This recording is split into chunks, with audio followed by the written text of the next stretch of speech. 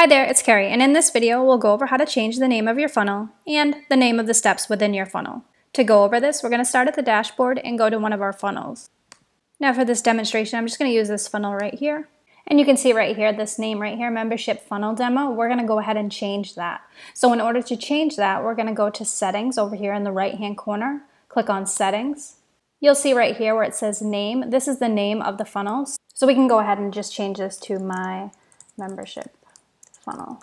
Once we have changed the name, you're going to scroll all the way to the bottom and click on Save and Update Settings.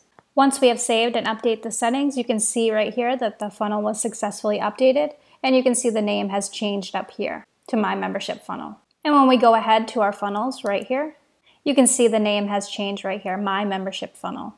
Now we're going to go over how to change the name of our funnel step. So I'm going to go back into this funnel so when we're inside here, you can see the name of our steps. So we have the membership access and membership area.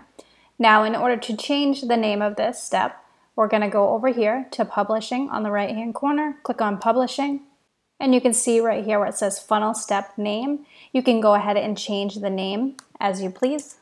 We're just going to do membership access demo. Once you have changed the name, you can go ahead and click on update funnel step. Now you can see here that the name has successfully updated to Membership Access Demo.